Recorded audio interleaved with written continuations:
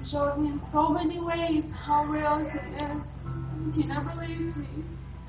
No matter how hard it gets, He never leaves me.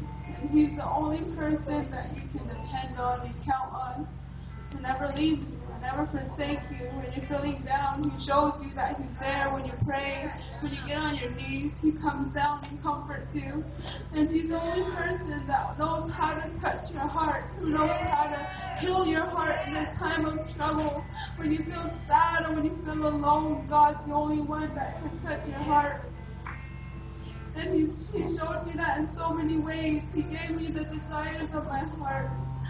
Every time I needed something, all I had to do was tell him and wait on the Lord and pray and keep the faith. And he's always met my heart's desire.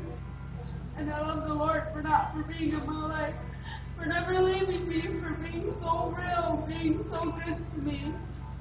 And I love the Lord tonight. I'll just sing a song. Thank you, Lord.